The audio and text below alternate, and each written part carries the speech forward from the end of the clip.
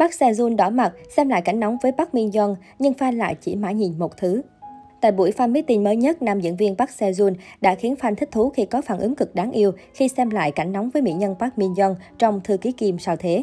Từng góp mặt trong dự án phim Thư ký Kim sao thế ra mắt năm 2018, cặp đôi Mỹ Nam Mỹ nữ Park Seo-joon và Park Min Young được người hâm mộ tích cực đẩy thuyền.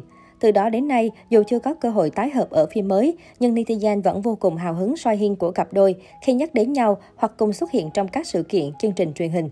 Mới đây, Park Seo-yoon gây chú ý khi góp mặt ở buổi fan meeting online dành riêng cho người hâm mộ. Đáng chú ý, buổi fan meeting đã chiếu lại một số cảnh phim của Park Seo-yoon và Park Min Young trong tác phẩm gây sốt Thư ký Kim sao thế đã từng làm mưa làm gió cách đây 3 năm. Trước loạt cảnh nóng với bạn diễn, nam diễn viên bộc lộ khoảnh khắc ngượng ngùng khiến khán giả vô cùng thích thú. Theo đó, Park Seo-yoon liên tục lấy tay che mặt, gương mặt của Mỹ Nam này cũng đỏ ửng lên vì xấu hổ. Không dừng lại ở đó, tại sự kiện, không ít dân mạng phát hiện ra việc Seo đi giày thể thao giống hệt đôi giày mà Park Min Young trước đó từng sử dụng. Nói cách khác, nhiều người cho rằng Park Seo và Park Min Young đã đi giày đôi. Thông qua cách ăn mặc cũng như cử chỉ của Park Seo nhiều khán giả tin rằng anh và Park Min Young đang thực sự hẹn hò. Đây không phải là lần đầu tiên cặp đôi trên bị soi ra những chi tiết chứng tỏ họ là một cặp tình nhân. Trước đó, nhiều lần hai người mặc đồ và sử dụng phụ kiện đồng điệu. Cụ thể như việc Park Min Young cũng từng để lộ một chiếc nhẫn trơn tương đối giống với Park Seo Yoon trên tay trong hình ảnh đăng vào hồi đầu tháng 8 năm 2021. Park Seo Yoon và Park Min Young dính tin đồn phim giả tình thật từ năm 2018. Tuy nhiên đến thời điểm hiện tại, hai ngôi sao này vẫn chưa có động thái nào khiến người hâm mộ đứng ngồi không yên. Chừng nào một trong hai chưa công khai người yêu thì dân tình vẫn còn ship dài dài. Hiện tại Park Seo Yoon đang là một trong những nam diễn viên hàng đầu xứ Củ Sâm.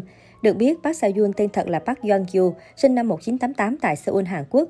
Xuất thân trong một gia đình khá giả theo nghiệp kinh doanh, nhưng Park Seo Joon lại quyết định lựa chọn và theo đuổi con đường nghệ thuật với niềm đam mê diễn xuất. Anh bước chân vào ngành công nghiệp giải trí vào năm 2011.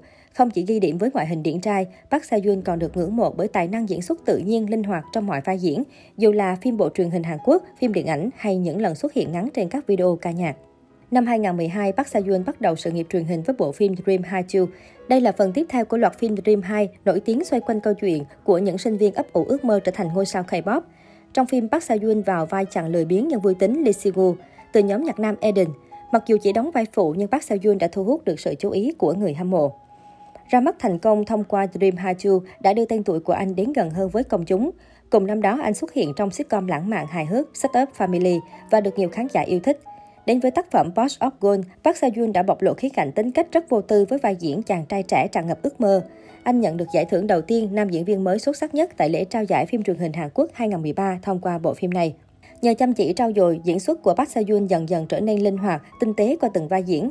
Park Seo-yoon nhanh chóng trở thành cái tên được săn đón trên màn ảnh hàng khi liên tiếp góp mặt trong hàng loạt bộ phim đình đám như A Wish Love, Kill Me Help Me, Sequel Pretty, Thư ký Kim sao thế, Into One Class. Không bó hẹp năng lực diễn xuất của mình ở mảng truyền hình, Park Seo-yoon thử sức với rất nhiều vai diễn điện ảnh và gặt hái được không ít thành công. Với nỗ lực không ngừng nghỉ, anh dần khẳng định được vị trí của mình trên màn ảnh Hàn Quốc và dần tiến bước chinh phục Hollywood với vai diễn Marvel đầu tiên. Đầu tháng 9 vừa qua, Park Seo-yoon đã bay đến Los Angeles, Mỹ để chuẩn bị cho vai diễn trong vũ trụ điện ảnh Marvel. Trước đó, công ty quản lý Awesome ENT xác nhận thông tin nam diễn viên góp mặt trong dự án của Marvel. Anh là sao Hàn Quốc thứ ba tham gia phim của vũ trụ điện ảnh này sau Claudia Kim và Ma Jong Suk. Theo cho Johnson, vì các điều khoản hợp đồng, đơn vị quản lý không được để lộ nội dung phim và vai diễn. Nhiều nguồn tin cho biết anh có khả năng đóng Armando Shaw, tay súng người Mỹ gốc Hàn có bộ não thiên tài trong Captain Marvel 2, The Marvels. Phim dự kiến ra rạp vào tháng 11 năm 2022.